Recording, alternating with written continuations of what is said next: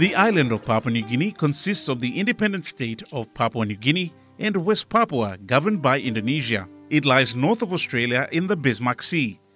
The island is split in half, but the nations share incredible cultural diversity as well as natural diversity that are unique in the world. The four conservation projects that will be visited are situated in Sepik, Sandaun, Madang, and Morobe provinces. Traveling on the coastline on boats as well as inlands on roads that are in bad repair creates some challenges. Flying on aeroplanes that are chartered from MAF or Missionary Aviation Fellowship as well as scheduled flights gets the team closer to the villages they will be filming in. The travel takes us on a boat up the mighty Sepik River we will fly into a community at the foot of the Torricelli mountain range and a banana boat carries us along the Madang coastline. The places that will be visited are Karkum in Madang province, Ambunti on the Sepik River in East Sepik province, Ronji in Morobe province, and Lumi at the foot of the Torricelli mountain range in Sandaun province. The four conservation projects are all centered on enabling and encouraging the indigenous inhabitants in the respective villages to participate in the conservation of some of Papua New Guinea's globally significant endangered wildlife species. These species were hunted and killed for use in customary costumes, sold to foreign buyers as exotic products, and consumed by the villagers themselves as a source of protein in an environment where sourcing of protein has traditionally been a challenge. That's the, the, framework in which we operate, and the framework of the small grants pro- program falls under the outputs um, in the overall strategy that look at um, sustainability and livelihoods of communities, environmental protection, um, climate action. Uh, the conservation uh, arm of CEPA does not get the full support, financial support from the national government. So we work closely with international donor partners. Landowners will have to make their choice between having that area set aside for forest activity or for conservation, or having that area set aside for agriculture uh, use or for conservation activity. It's up to those ministers to make that difference. And that's probably our most frustrating thing that we see around the world with politicians um, is they have so much power and they can make so much difference and they can create so much goodness in the world if they had the political will. They've actually seen the actual uh, infrastructure development. Um, they've seen the, uh, the actual uh, impact uh, that the project has on the community. All the projects evolve around reducing pressures on the environment by giving the inhabitants alternative sources of income through development of cash crops or an alternative protein source to sustain the population. There is also the issue of lack of access to markets that needs to be addressed. The country is very rugged and not easy to get from one place to another over mountains, wetlands, seas, and rivers. Lack of investment in transport infrastructure inhibits development of the country. I grew up in Utu in, in the 70s. That was when the logging uh, uh, uh, logging operations was taking place.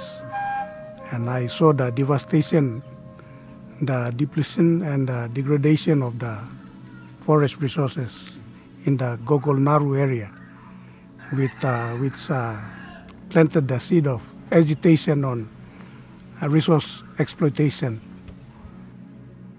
there are numerous challenges that face the people in the communities around Papua New Guinea. Sometimes it is the lack of road connection, distance from market, the cost of transportation, and more. What is similar in all the communities are hardworking people who want a little help to better the chance of helping themselves. Tourism is underdeveloped in Papua New Guinea but has potential. The government has driven some initiatives that show promise but more needs to be done in terms of infrastructure and ease of travel within this extremely rugged and stunningly beautiful country. These projects can also be a driving force for the type of tourism that has been coined as ecotourism. The villages are able and willing to invest in tourism, but still the tourists are thin on the ground. mainly because of how difficult Papua New Guinea is to navigate. The traditional challenges the communities are facing are being further exacerbated by the ever present and increasing effects of global warming that is affecting the climate in an unpredictable way. Rising sea levels and increased frequency in natural disasters has grave impact on marine life, wildlife, and crops in the country. Increase in population has also created challenges for the communities, especially coastal areas, when the need for housing encroaches ever nearer to the shoreline. It has unforeseen and often detrimental consequences for the wildlife the communities are trying to protect and for the communities themselves. These challenges and others are all linked with the success of the conservation projects that are built on the participation of the local population. Areas which ha- with high biodiversity, we, we know where they are. The challenge for us is moving in, working with the landowners to try and secure them, getting, you know, uh, their, their consent. Um, also, finding out, investigating very, very quickly the opportunities for them to make money. Um, I think I think that that to me is a most critical thing to do. Because once we've done that, I think the rest is now organizing the landowners, making sure that they really get the benefit, the real benefit, so that they're all happy, no one is missing out. And when they move together and they all appreciate that this money they're getting uh, can be increased in the future, if they continue to preserve the land, uh, the water, the bush, and all that, uh, I think we've got it there. The first village we visit is Karkum, that is located on the north coast of Papua New Guinea in Madang province. Protection of the critically endangered leatherback turtle in Karkum and other neighboring villages was enabled through funding from the UN Development Program Small Grants Program, received by Masin Kagin Tapani Association, a community-based organization established to foster the advocacy on protection of the Western Pacific leatherback turtles that visit the shores of Papua New Guinea annually during the breeding season. The leatherback turtles are critically endangered, according to the globally recognized IUCN, or International Union of Conservation and Nature Red List. That is a global reference for species populations. The funding was stopped by the donor due to technical reasons. There are so many challenges. It boils down to funding constraint. Uh, you can't operate such a big project with no funding and no major funding, not just in 100,000. You need a million kina funding to run this type of project. Most of the NGOs, big NGOs, are operating on million kina budget, especially to cover the administrative cost. I'm spending time in the village to be with the people. Even though we don't have the funding, I think by being physically present on the ground and uh, giving my time to the villagers, I think I can somehow convince them to continue to sustain the project. Despite the lack of funding, the villagers in Karkum and the neighboring villages of Sarang and Dibor have decided to carry on with the project to protect the leatherback turtle. There are still issues being debated, but after a period of disharmony, a consensus is being reached amongst the community. Adolf is the main ranger and has taken the lead to try further develop opportunities the Leatherback Conservation Project can create for the community. Mikam lo start lo work lo project betrosel time. Wenceslaus Magun lo Maskagin Tapani Association. Short, call him kata welcome welcome awareness law endangered, species law 2006 welcome welcome awareness awareness running all workshops trainings na time wala walking boundary survey when is um, pine man blow seven ground. Boundary blow conservation area. So I'm asking asking around mi talk me mi canal pilo kog isla wok. Mi GPS machine lo all uh, data all coordinates all locations where um, all points of interest. Mi collect him na bien mi write him ken lo ang book nam salam golo GIS specialist lo must be we all can walk a map because me at me know at machine lo ke map mi sim ta sol GPS lo collect data. While conducting your survey, did you come across sacred sites? lo so yes kam lo some secret sites some all all pla all mat mat all masala place all place. Tambu eh, all papa and all tuna sa all secret sites istap The richness of culture and the heritage of the villages are very important factors. The sacred sites can function as buffer zones against deforestation and land degradation, protecting water, forests, and biodiversity. Local myths also help to integrate conservation into the cultural practices. Mere speed go down nung nambis. Em kalaban tab nung pa diwai. Silo war bring kam na putin. Em kalaban tab na ulim an nung diwai. Diwai me plo kolim bupong. Bupong. Nung sok place. Nung sok sin minus ang nung nem plo. Dela diwai gat smell ben tem trause. Em ulim na. Em kalap na ulim an nung diwai bruk not plegon sa nung silo. Em te stop. Sabi ko, tupla pikirnya saya kisim pikir berasa belongon susah belongon nol saya godong nambis dan singot dia nambis ikut kan nol singot singot cuma mama belongon Igo mama belum saya kam kam cap bing seselong bigi boya pikirnya ni meria ya. nap saya godong bet Ot sem tas oli goi goi go nap mama belum uliat skin dong trasel kau skin dong dia lah mak mak belum skin dong trasel ya. Em kau belum paksa dong Go them talking mall. One kata mo goes. Bring picking ya goal. Kaman sab na talking mall.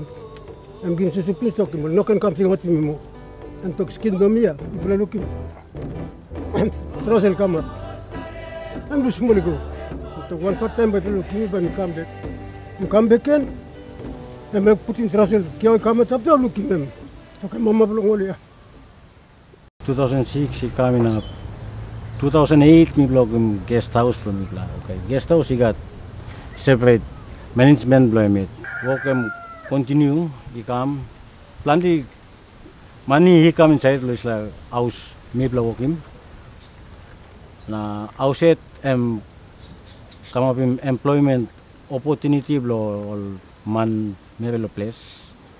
Guest house management bla house i employ all workman work merelo work lo house ang come up locally mi bla creating employment opportunities bla man merelo place. Na same time too na bla work some all agriculture work some poultry farming na all trade store na sila kain. Benefit blow ay mo sam blow one one blow mi plan mi plus sam good player blame mo sam time this la project am come. Mi sam time mi pla go mi pla walk this la little walk.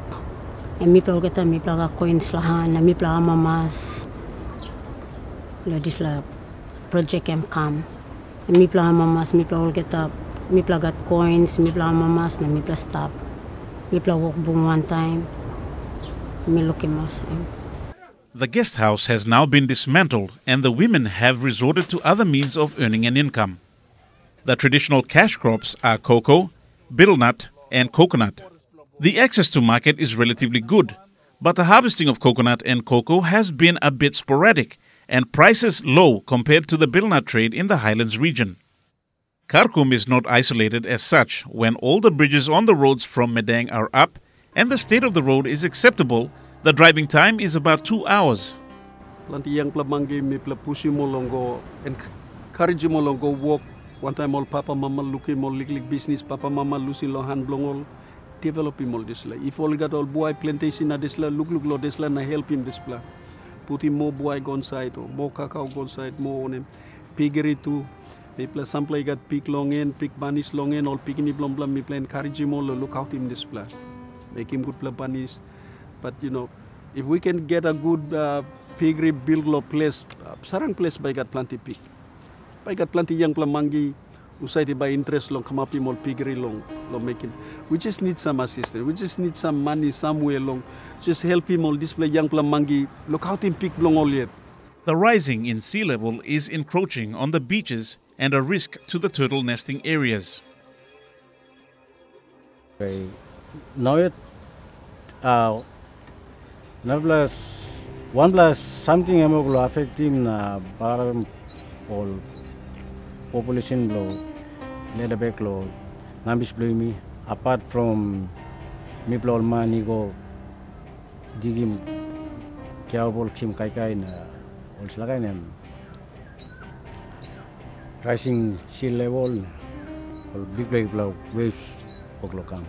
Also come big big blow waves sa come time uh, big blow in kam na beda em no gulba tumas big blow blow waves sa kam na digim wasan goran na rausim o kita kya blow trosel sa gona bagarap destroy mo. Em natural na em adlo mi plagol man bo o kumanda something Now, mi pla mas. Look sabe sem. Mi pla istablom gold. Mm. Gold em sabe lo mi pla lo side plom dis lo work plom trouser. Mm. Osem now. Now, you mi community long karkum mi pla mas kirap now. Mi pla mas one all differences mi pla stop mi pla mas senisim na mi pla ba kirapim dis lo work again. Mm. Mi pla ba serious. Mm. Serious long working dis lo work come up again. Bila tuk-tuk living loss, our problems that come inside na. Bagarapin something. Planted something mi blasa making mi plan sa we are saying. Imi ogo te boom one time, pass a good blood thinking, make him something. One blood, two blood, three blood man soul will him something go na. Then community come inside, make him project say go go. The challenges are varied and all depends on the community coming together to further their prospects. People's livelihoods are interlinked to ecosystems management and biodiversity conservation. When people look after their environment, benefits they receive are clean air, water, food, and other material for their health and well being. In PNG, we are fortunate. The resources are owned by the people. And it's their food bank, it's their pharmacy, it's their clothes factory, you name it. So they get the environment services uh, for free from the environment. So it's not just about conserving and sustaining, restoring and protecting the leatherback turtles. It's about building that environment consciousness in the communities to appreciate the value of the environment that they live in and the benefits they get out of the environment. The project has continued, and Adolf and a small group of people have continued the work. The population of Western Pacific leatherback turtles is still a concern, as the species are still on the IUCN Red List of Endangered Species. The leatherback turtles continue coming during the breeding season annually. Therefore, the work of the coastal villages in Madang are still important for the protection of the leatherback turtles. na ilukim long constant generation long pla like osem lo miet mi ga tuna meriam stop papa am stop miet stop mi ga pigni mi pla four generation stop one patem na ilukim tuna meri blum stop yet na this la same meri multiply na come up 110 pla one finish this la em put him strain em put him one me go begin long resource now something I must come up ken. Lo bung tamlo em stay em tok tok mi tok em must come up ken. Now one plus something too awesome. You me all got to save lo tok blo god. Na you talk long boost ground se bagarap. God em put him all animals. Lo boost na lo nambis too. Lo look out him. Em tok you must look out him. Na mi ama mas lo disla project mas carry on because ama name community blo amba world ya.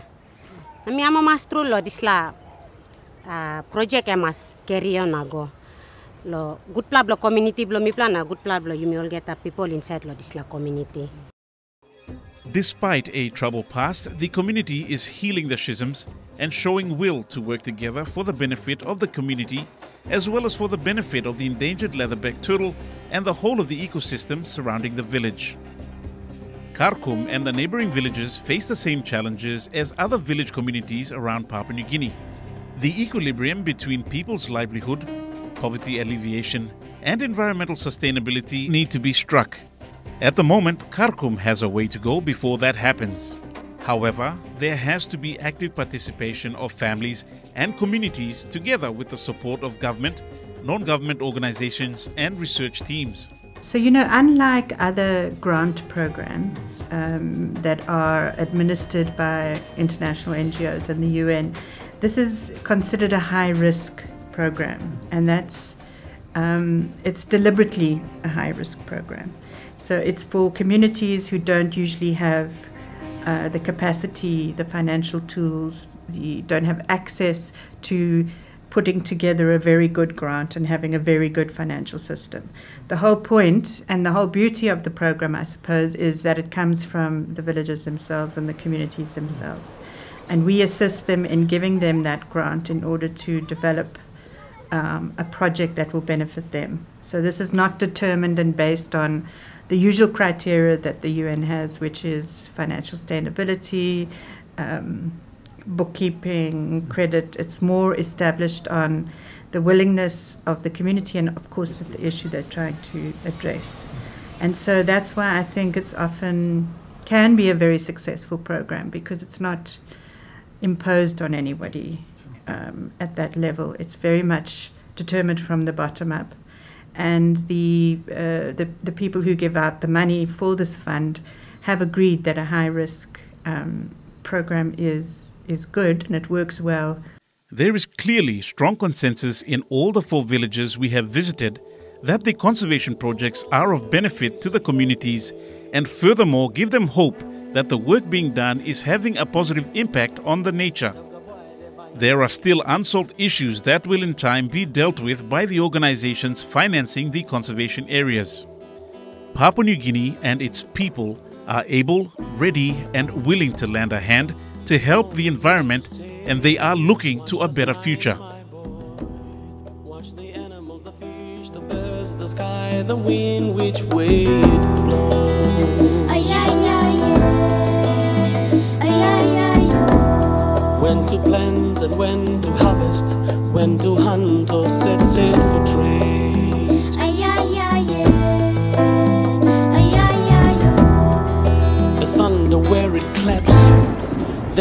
Tell the time and season, everything falls in its time.